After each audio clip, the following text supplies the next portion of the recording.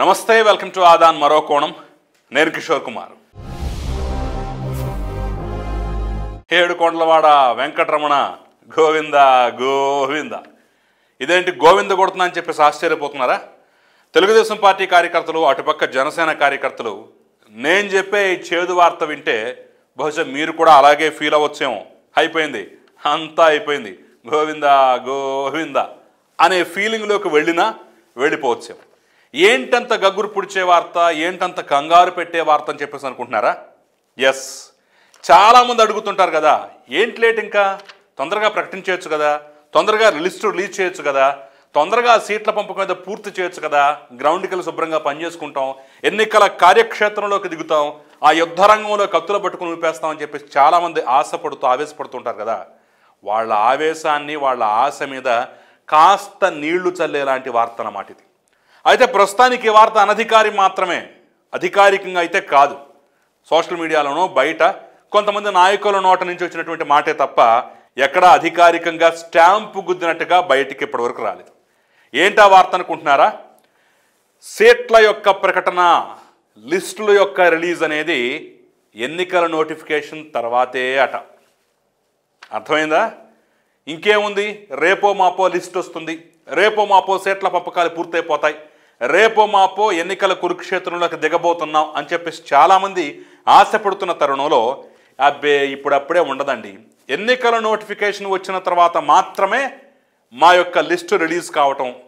ఇదిగో పొత్తులో భాగంగా అఫీషియల్గా మేము ఈ సీట్లు ఈ విధంగా పంచుకున్నాం అనేటటువంటి ప్రకటన రావడం జరుగుతుందట. మళ్ళీ చెప్తున్నా ఇది కేవలం అనధికారికం మాత్రమే. ప్రస్తుతానికి అనధికారికంగా తెలుస్తున్న వార్త తప్ప ఎక్కడా స్టాంపు గుద్ది అధికారికంగా అయితే రిలీజ్ చేయలేదు. కాకపోతే ప్రస్తుతం జరుగుతున్న పరిస్థితులు పరిణామాల బట్టి చూస్తున్నట్లయితే ఏమో ఇదే జరుగుతుందేమో రేపు ఇదే నిజమవుతుందేమో నిజమైనా ఆశ్చర్యపోవాల్సినటువంటి అవసరం అయితే లేదు కదా? మరి మీరేమనుకుంటున్నారు దీని మీద? ఇప్పటి వరకు రేపు వస్తుంది మాపు వస్తుంది లిస్టు.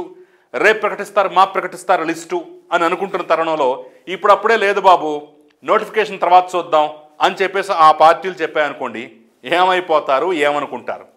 మీరేమనుకుంటున్నారో అది నాకు ఫస్ట్ కమెంట్ రూపంలో తెలియజేసే ప్రయత్నం చేయండి. అసలు ఈ వార్త విన్న తర్వాత మీ ఫీలింగ్ ఏంటో కూడా నాకు షేర్ చేసేటువంటి ప్రయత్నం అయితే చేయండి. ఇక నేను అసలు పాయింట్కి వచ్చేస్తాను.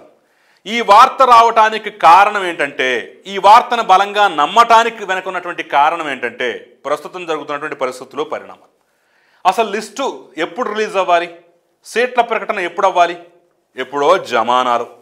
జగన్మోహన్ రెడ్డి కన్నా ముందే మేము సీట్లు పనిచేసుకుంటాం లిస్టు ప్రకటించేస్తామని చెప్పేసి ఆ రోజుల్లోనే ఈ రెండు పార్టీలు మాట్లాడుకున్నటువంటి మాటలు మనం విన్నాం కదా? చూసాం కదా? జరిగిందా? లేదు. యువగళం పాదయాత్ర ముగింపు సందర్భంగా అతిపెద్ద బహిరంగ సభ జరిగింది. దానికి పవన్ కళ్యాణ్ కూడా వచ్చాడు కదా? ఆ బహిరంగ సభ తర్వాత ఒక వారం రోజులకో పది రోజులకో ఈ యొక్క లిస్టుల యొక్క ప్రకటన ఉంటుంది సీట్ల యొక్క ప్రకటన ఉంటుంది. అక్కడి నుంచి ఉమ్మడి కార్యాచరణలో భాగంగా అలాంటి బహిరంగ సభలే పదే పదే పెడుతూ ఉంటాం. అన్ని జిల్లాల్లో పెడుతూ ఉంటాం. ఉమ్మడిగా పవన్ కళ్యాణ్ చంద్రబాబు నారా లోకేష్ వాటన్నిటికీ హాజరవుతుంటారని చెప్పేసి ఆ రోజుల్లోనే కొన్ని వార్తలు వచ్చాయి.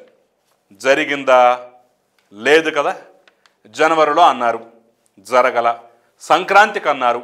జరగల. సంక్రాంతి తర్వాత అన్నారు. జరగల. ఫిబ్రవరి ఫస్ట్లో అన్నారు. జరగల. ఫిబ్రవరి మధ్యకు అన్నారు. జరగల.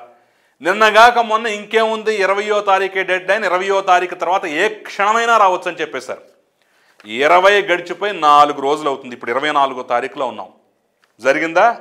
జరగలేదు కదా? అసలు ఆ ఊసే లేదు కదా? పైగా మధ్యలో ఈ ఢిల్లీ ప్రయాణాలు అంటూ కొన్ని వచ్చేసాయి వీటి తర్వాత అంటున్నారు ఏమో అది కూడా నమ్మటానికి ఆస్కారం అవకాశం కనిపించట్లేదు. ఇరవై ఐదు ఇరవై ఆరు ఇరవై ఏడు ఇరవై ఎనిమిది ఇరవై తొమ్మిది అప్పటి వరకు అసలు ఆ ఊసే లేదు. ఆశ పెట్టుకోవాల్సిన అవసరమే లేదని చెప్పేసి అయితే ప్రస్తుతం కొన్ని వార్తలు తెలుస్తున్నాయి. మరి ఈ నేపథ్యంలో ఎప్పుడో జమానా కాలంలో రిలీజ్ చేస్తామని చెప్పేసి ఇన్ని నెలలు గడుస్తున్నా ఇంతకాలం గడుస్తున్నా రిలీజ్ చేయకపోతే దాని మీద ఒక ప్రకటన కూడా రాకపోతే ఏమనుకోవాలి ఎలా చూడాలనేది సుస్పష్టంగా తెలియట్లేదా? ఇప్పుడు హల్చల్ చేస్తున్న ఈ వార్తను నమ్మటానికి ఆస్కారం అవకాశం ఉంది కదా? ఎందుకు నమ్మకూడదు? ఆ యాంగిల్లో కూడా మనం ఆలోచించాలి. సరే ఇక ఈ అంశంలో కాసేపు ఇవ గతంలో ఏం జరిగిందనే పక్కన పెడితే ఎందుకు ఆలస్యం అవుతోంది అనే దాని మీద చూసినట్లయితే ఒకటైతే చాలా క్లియర్గా తెలుస్తోంది. బీజేపీ వల్లే ఆలస్యం అవుతోందనే అంశం అయితే ఇంటా బయట అదే టాక్. ఈ రెండు పార్టీలు తొందరగా ప్రకటించేసుకుందామన్నా తొందరగా పనిచేసుకుందామని చూస్తున్నా సరే ఎక్కడో BJP మోకాలడుతోంది. Wait wait wait and see అనేటటువంటి రీతిలోనే అన్నిటినీ ముక్కుకు కళ్ళెమేసి మరీ ఆపుతోందని చెప్పేసి అయితే చాలా క్లియర్గా తెలుస్తుంది. నిన్నగాక మొన్న ఈ మధ్య దీని మీద నేను ఒక వీడియో కూడా చేయడం జరిగింది. చాలామంది దానికి పాజిటివ్గా స్పందించడం కూడా జరిగింది. మీరు చెప్తున్న మాట నిజమే. బీజేపీ ఆపుతోందని చెప్పేసి మాకు కూడా అనిపిస్తుందని చెప్పేసి కామెంట్ రూపంలో కూడా చాలామంది మెన్షన్ చేశారు. దానికి బీజేపీ చెప్తున్నటువంటి కారణాలు కానివ్వండి లేదా వాళ్ళు పెడుతున్న కండిషన్స్ కానివ్వండి ఒకసారి మనం చూసినట్లయితే ఫస్ట్ బీజేపీ చెప్తున్న కారణం ఏంటి ఎందుకు ఆలస్యం అవుతోంది అన్న దాని మీద మనం చూసినట్లయితే బీజేపీ ఒక అద్భుతమైన కారణం చెప్తోందట. అదేంటో కాదు. మనం ఇప్పుడు లిస్టు రిలీజ్ చేశామంటే జగన్మోహన్ రెడ్డి ఇప్పటికే మార్పులు చేర్పులు చాలా చేసేశాడు. ఇంకొన్ని చేయడానికి రెడీగా ఉన్నాడు. అసలు ఆయన ప్రకటించిన లిస్టులోనే చివరికి ఎంతమందికి బీఫామ్లు ఇస్తాడో కూడా తెలియదు. కాబట్టి తొందరపడి అతనికి పోటీగా మనం కూడా లిస్టు రిలీజ్ చేస్తే రేపటి రోజున మనకి ఇబ్బందికరమైన పరిస్థితులు వస్తాయి. ఆపరేషన్ ఆకర్ష్లో భాగంగా ఉన్నవాళ్ళను కొంతమంది లాక్కోవటం అసంతృప్తులు లాక్కోవటం రెబల్స్ను లాక్కోవటం ఇలా రకరకాల ప్రయత్నాలు జగన్మోహన్ రెడ్డి చేస్తాడు. సరే కొంతమందిని తీసుకోకపోయినా సరే వాళ్ళకి వెనకుండి అండాదండ అందించి మనకు వ్యతిరేకంగా ఉసిగొలుపుతాడు అది మనకి రెండు రకాలుగా నష్టం కలిగిస్తుంది కాబట్టి వెయిట్ చేద్దాం. చివరి వరకు వెయిట్ చేసి నోటిఫికేషన్ వరకు వెయిట్ చేసి అప్పుడు ప్రకటించామంటే అతనికి కాలు చేయకూడదు తీసుకునే సమయం ఉండదు కాబట్టి మన మీద అంతగా కాన్సన్ట్రేట్ చేయడు. మన పని మనం హ్యాపీగా చేసుకుపోవచ్చు అనేటటువంటి ఒక లాజిక్ని అయితే చెప్తోందట. మరి ఈ లాజిక్ ఎంతవరకు కరెక్టో కాదో ఎంతవరకు పనిచేస్తుందో నాకైతే తెలియదు మీకు ఏమైనా అభిప్రాయం ఉంటే మీరే చెప్పాలి. ఎందుకంటే చివరి వరకు సాగదీస్తే మరి ఇన్ఛార్జీలు అలా పనిచేస్తారు? పొత్తులో భాగంగా ఎవరికి సీట్ వస్తుందో ఎవరికి రాజు అనేటటువంటి కన్ఫ్యూజన్లో ఎంతమంది కరెక్ట్గా పనిచేస్తారు? ఎంతమంది కరెక్ట్గా పనిచేయరు? మరి ఆ యాంగిల్ ఎందుకు ఆలోచించట్లేదు? సరే ప్రకటించేస్తే ఎవరో లాక్కుంటారు అనుకుందాం ప్రకటించకపోతే ఉన్నవాళ్ళు పనిచేస్తారా? ఈ యాంగిల్లో కూడా ఆలోచించాలి కదా అనేది ప్రధానంగా వస్తున్నటువంటి అంశం. ఇక నంబర్ టూ వాళ్ళు పెడుతున్నటువంటి ప్రధానమైనటువంటి కండిషన్. ఫస్ట్ చెప్పింది కారణం ఇప్పుడు రెండో చెప్పేది కండిషన్. కండిషన్ ఏంటంటే సరే ప్రస్తుతానికి పొత్తులో భాగంగా మీరు కూడా కలుద్దాం అనుకుంటున్నారు కదా కలుస్తున్నారు కదా మరి ఆ నేపథ్యంలోనే మీరు కొంత సమయం వేచి ఉందాం అనుకుంటున్నారు. మీరు ఇంకా చాలా అంశాలు తేల్చలేకపోతున్నారు కాబట్టి ప్రస్తుతానికి మేమైతే కొన్ని సీట్లు ప్రకటించేస్తాం.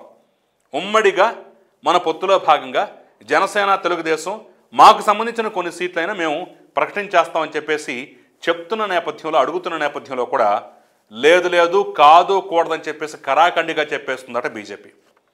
అయితే గీతే ఒకే లిస్టులో రిలీజ్ చేద్దాం. ఒకే దఫాలో రిలీజ్ చేద్దాం. అంతే తప్ప ఇలా మొదట్లో మీరు చివర్లో మేము అన్నట్టుగా వద్దుగాక వద్దని చెప్పేసి ఒక భారీ కండిషన్ అయితే పెడుతుందట.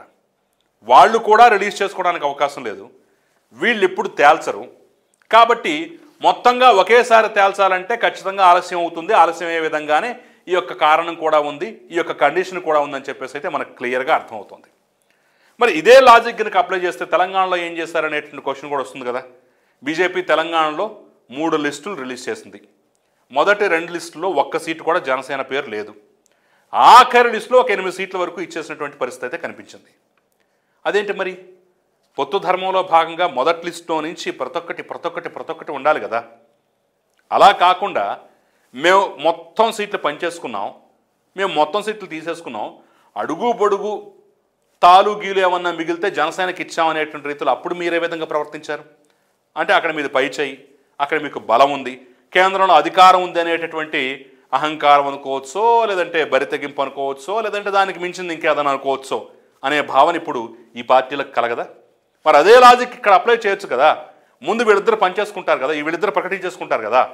మీరు మొత్తం తెవల్చుకొని కార్యరంగంలోకి సిద్ధమైన తర్వాత అప్పుడు మీ సీట్లు చెప్తారు కదా? మరి దానికి ఎందుకు సముఖంగా లేరు? అంటే తెలంగాణకు ఒక లాజిక్కు ఆంధ్రప్రదేశ్కు ఒక లాజిక్కు అక్కడొక పద్ధతి ఇక్కడొక పద్ధతి ఇదేం నీతి ఇదేం న్యాయం ఇదేం రీతి ఇదేం రివాజ్ అని చెప్పేసి కొన్ని ప్రశ్నలు కూడా ఇక్కడ వస్తున్నాయి. సో మొత్తానికి మనం ఎన్ని కారణాలు చెప్పుకున్నా ఎన్ని కండిషన్స్ చెప్పుకున్నా ఏ రకమైనటువంటి విధానాల గురించి చర్చించుకున్నా సరే ప్రస్తుతం అందుతున్నటువంటి అనధికారిక సమాచారం ఏంటంటే చాలామంది తొందరపడుతున్నట్లుగా తొందరగా రిలీజ్ అయితే బాగుండు అనేటటువంటి వాళ్ళ కోరిక ఇప్పట్లో నెరవేరదట. ఆ నోటిఫికేషన్ ఏదో వస్తే అప్పుడు రిలీజ్ చేస్తారట అనేటువంటి అంశం అయితే ఇప్పుడు తాజాగా తెలుస్తున్న వార్త. ఇది నిజం కాకూడదని నేను కూడా కోరుకుంటున్నాను. అవ్వకూడదని మీరు కూడా కోరుకోండి. అవుతుందో లేదో కాలానికి వదిలేద్దాం. ఇంతకుమించి దీంట్లో చెప్పగలిగేది ఏమీ లేదు. ఇక ఇంతకుమించి విశ్లేషణ చేయగలిగేది కూడా ఏమీ లేదు. సో మనం నేను చెప్పినటువంటి ఈ పాయింట్ల మీద ఈ లాజిక్ల మీద ఈ అంశాల మీద మీరేమనుకుంటున్నారు? మీ అభిప్రాయం ఏంటి? మీ కామెంట్ ఏంటి అనేది కూడా నాకు క్లియర్గా తెలియజేసే ప్రయత్నం చేయండి. అంతకన్నా ముందు ఈ వీడియోను లైక్ చేయండి షేర్ చేయండి. మన ఛానల్ని సబ్స్క్రైబ్ చేయడం మాత్రం అస్సలు మర్చిపోకండి. నమస్తే.